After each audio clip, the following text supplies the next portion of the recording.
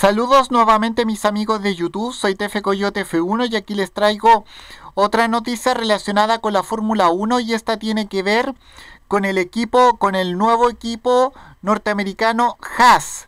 Bueno, como ustedes saben, eh, Haas, la nueva escudería estadounidense de la Fórmula 1, eh, planea presentar su monoplaza, su modelo para la temporada 2016 el día 21 de febrero, un día antes de que comience la pretemporada de la Fórmula 1 2016 en Cataluña.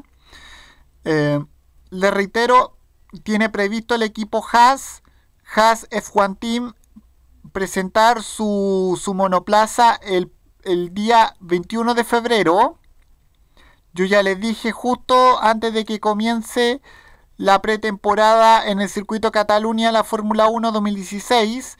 Eh, y la escudería que es propiedad de Jim Haas presume de estar cumpliendo todos los plazos de fabricación y ya han confirmado que, que comenzarán a fabricar su monoplaza con el que disputarán la temporada 2016 el día, o sea, a mediados de enero, como dice esta noticia.